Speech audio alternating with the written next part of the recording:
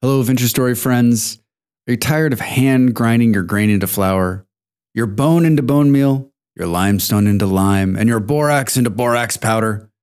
Or maybe you're ready to make the leap and build a helve hammer. Then it's time to harness the power of wind with a windmill. Let's go.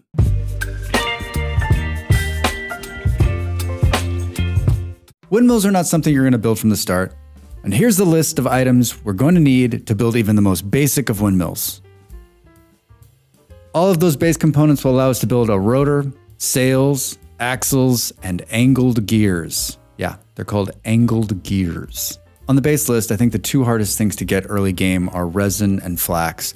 Flax can be found out in the open, and honestly, to get mass amounts of it, you're gonna need to start farming the hell out of it. We've talked about this before, but that's something you should start right from the get go. And then resin just involves you looking at a lot of trees, looking up at a lot of trees, and looking at all sides of a lot of trees. The resin hunt is never ending, and whenever you see it, stop, pick it up, and mark it on the map. You'll need copper for the saw and the chisel, which means you've cracked the copper code. And the fat, well, we all know how you get that.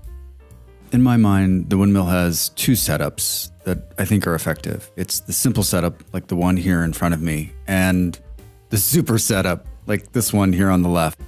We're going to talk more about this one in a second.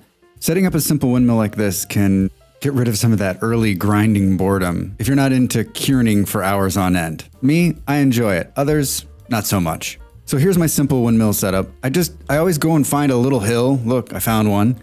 That'll give me some elevation. And then eh, four to six blocks up, it's made of dirt. Very, very simple here. Out the back. I mean, you could do it even simpler than this. You could put the quern right on top. And then here it is. And wow, look, we've already got it grinding out some some flaxseed.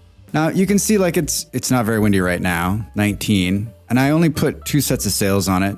And this is the kind of thing that like you set it up and forget. So you put an entire stack of grain in there leave, and come back, and boom, it's done for you. This can be done bone meal, everything, right? I think this setup is great for the beginner. Someone who wants to get into wind power and maybe doesn't want to go through the elaborateness of building a giant windmill yet. So the wind is picked up, and you can see here that it's working. It's not very big, it's small, easy to set up, minimal resources.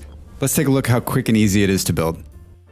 All right, let's build this simple windmill with a quern on it. And like I said, it's it's it's just a basic three by three by three block here. Looks like I want one too many.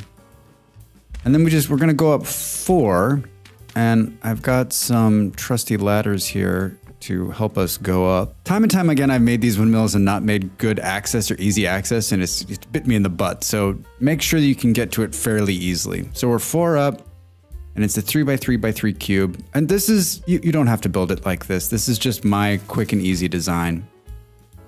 We'll go here. We're gonna build a little, little access thing here so we can get it on correctly. There we go.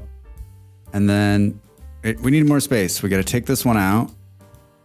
And then we're gonna put two more on. Oh, look, it's already moving. I always build out in front of it. It just makes it easier to attach the rotor and then also put the sails on. And then you can see it'll come up and tell you, hey, you know, you couldn't get it, so we had to move that one out. All right, and there's the basic windmill up and running. And then we're gonna come up here and say, uh, one more. Remember, you gotta angle the way you want it to go. And then we're gonna put a little angled gear. And then when we do that, it'll automatically hook up.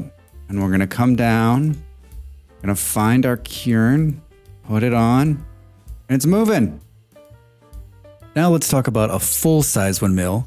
Here is my design, one I've been thinking about for a long time, and that's find a nice little mountain. I always think you should find a hill to build these in. It's gonna save you resources and also give you some height.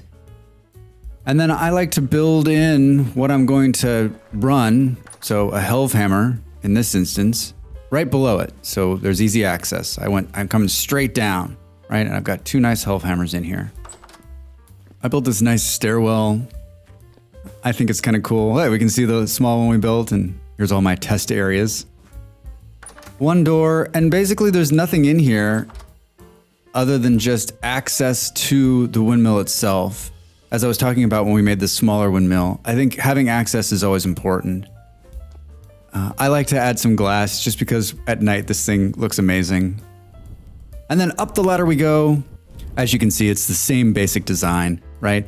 You've got a couple of wooden axles. There's the rotor, some sails. I've got a lot more sails on these ones. Coming to a big wheel, which is distributing all of the power from all of them. That's the only difference between this big one and that little one is that there's just, there's more.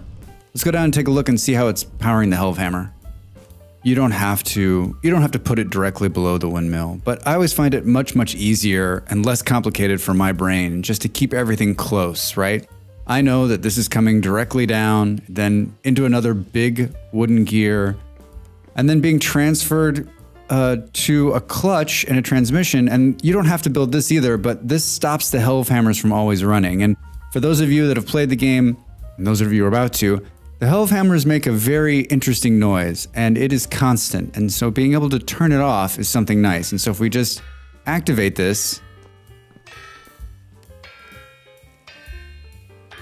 you hear what I'm talking about. So we've got two health helve hammers. We've got a wooden toggle underneath. So basically the health helve hammer is simple. Let's turn this off so we can hear me. Which is a base, a toggle, and the hammer. And then I've got an anvil on the end. I'm running just an axle off the side here. You can see and it's all coming off the big wheel. And I've got you've you know you've got those four windmills up there and plenty of power.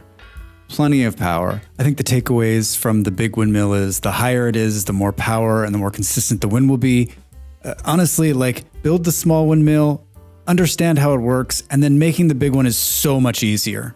So these are my two examples. I'd love to hear about your windmill adventures. I'd love to see pictures of your windmill. I've got a great Discord. You can upload them there. Love to hear your thoughts on windmills. Leave them in the comments below. And hey, we'll see you next time. Oh, one final thought. They look really cool at night when they're all lit up.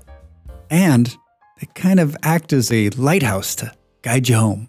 The video's over. Now it's time for you to do your part. Follow, like, and subscribe, and I'll see you next time.